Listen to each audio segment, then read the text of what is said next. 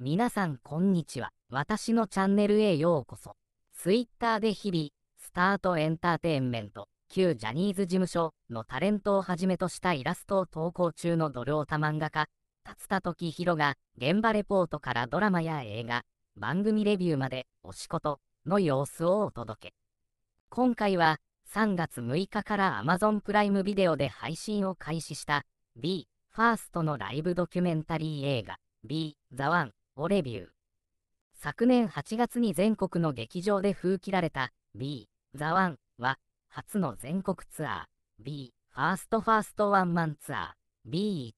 BE:1 2022-2023 のライブパフォーマンスやグループ誕生のきっかけとなったオーディション THE FIRST 各メンバーのインタビュー映画でしか見られないメッセージアコースティックバージョンのスペシャルパフォーマンスなどで構成されたファンにはたまらない一本。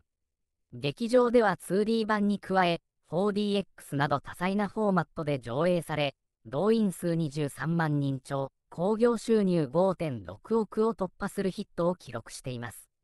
この記事では、そんな本作を見て分かったメンバー7人の魅力をイラストでご紹介していきます。目次 B、ファーストの映画 B、ザワンとにかく映像が良い。ソータには天使と悪魔が同居。シュンとのスター性と竜兵の高音がすごい。どう思いますか？気に入っていただけると嬉しいです。また次回お会いしましょう。